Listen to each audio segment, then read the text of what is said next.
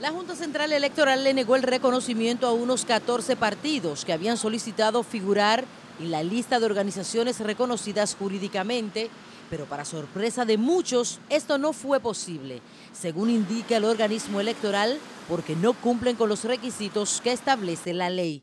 Para el senador oficialista por San Pedro de Macorís, José María Sosa, en el país hay demasiados partidos que no realizan ninguna labor y que, según dice, solo funcionan como pequeños colmados.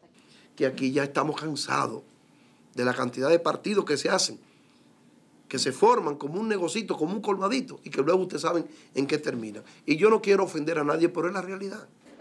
Para los diputados PRDistas Pedro Carrera y Pablo Adón, en República Dominicana hay una proliferación de partidos, contrario a lo que ocurre en los países desarrollados. Ya eso que hay aquí un sinnúmero de partidos, sin ninguna propuesta diferente, eh, eh, solamente para negociar en un proceso eleccional, no puede seguir.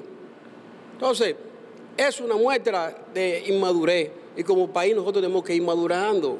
Ahora la ley electoral es clara y están ahí las condiciones para que sea reconocido un nuevo partido. Yo entiendo que la Junta Central Electoral lo que ha hecho es interpretar la ley.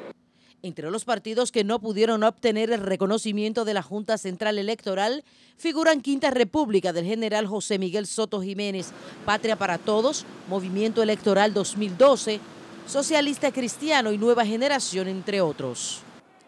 Con la aprobación del proyecto de ley de partidos políticos, se reduciría aún más aquí en el país la presencia de pequeñas agrupaciones, ya que esta impone drásticos requisitos para la creación de las mismas. En el Congreso Nacional República Dominicana, Mayra Ogando, Noticias, Telemicro.